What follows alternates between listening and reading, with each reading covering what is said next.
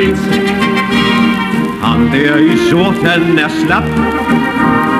Men i en spor, der han skrab Træd nu pedalen, skønt hvem i finalen. Bevar dit humør og kør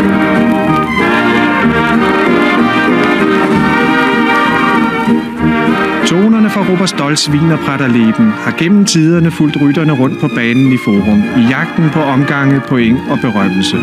30'ernes seksdagshelte var navne som Ville Falk Hansen, Werner Grunddal. I 50'erne Kai Werner Nielsen, Evan Klamer og Palle Lykke. I nyere tid Ole Ritter og Gert Frank.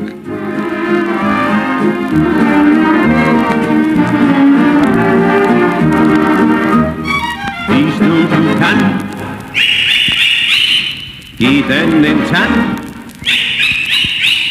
Tramper du til Sejrer du ved.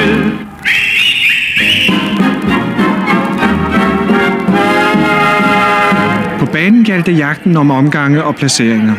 Og uden for banen jagten på de efterspurgte autografer. At få denne autograf hører til blandt de mest eftertragtede. Han har vundet 14 seksdages løb. Fik kørekort før han blev cykelrytter.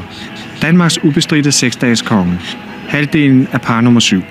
Det par nummer syv øh, er noget, som jeg føler, jeg har æren af at have skabt, og øh, i, i dag har gjort til lidt af en legende i øh, dansk cykelsport. Fordi da jeg i sin tid øh, var på vej til at blive seksdagskonge, ville Ville Falkansen, der var sportsleder dengang, her, at jeg skulle have nummer et. Men øh, det ville jeg ikke, og så siger han, øh, hvad nummer jeg så vil have. Og så slyngede jeg spontant ud nummer syv.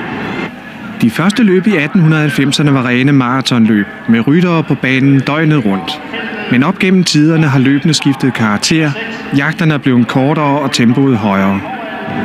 Det i sig selv med, at du kørte øh, i seks dage her og havde hvile i to dage og kørte i seks dage igen, ja, det bevirker jo, at du i flere måneder om vinteren kun sov de der tre timer i døgnet.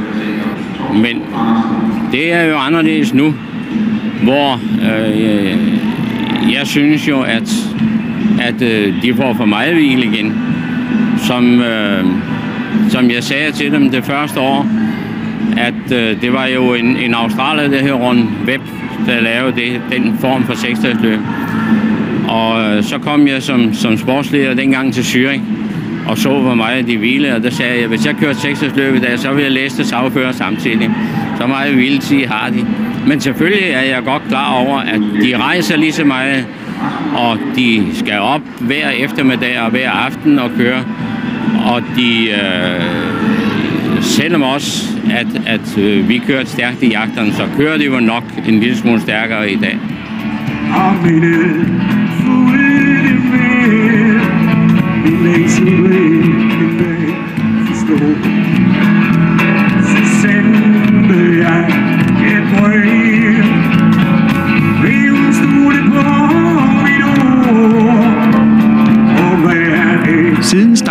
1930'erne har det altid været diskuteret, om seksdagesløbene var aftalt spil.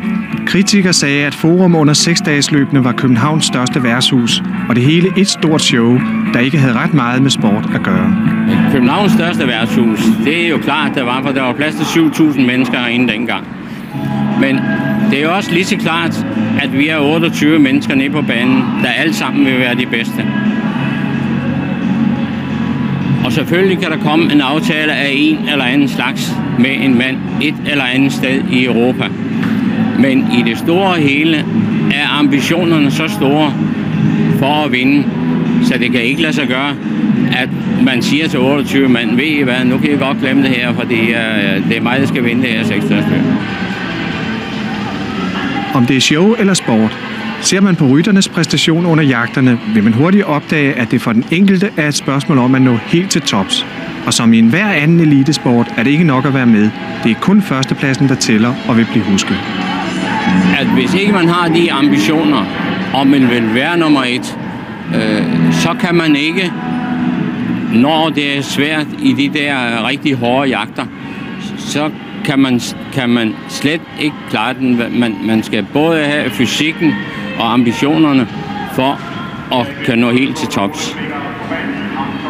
Fordi alle, alle, alle vil jo gerne være den bedste.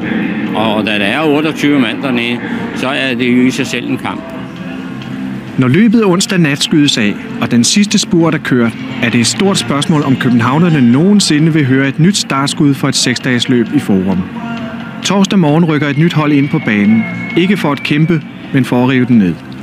Men tonerne fra Robert Stolz vinerpræt af leben vil stadig hænge i luften og minde mange om seksdages løbende i Forum.